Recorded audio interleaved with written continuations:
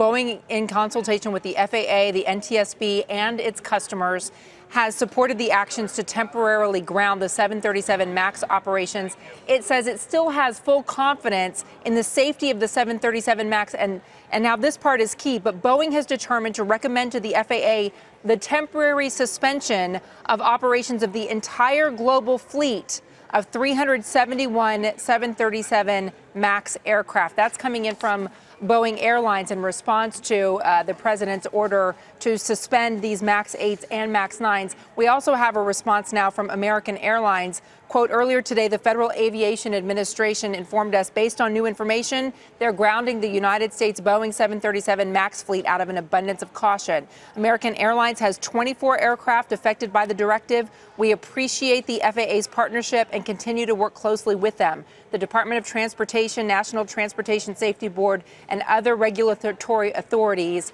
as well as our aircraft and engine manufacturers. Our teams, they say, will be working to rebook customers as quickly as possible, and we apologize for any inconvenience. We are hearing from passengers who were booked on these flights and said, as the president was announcing it, their flights got canceled.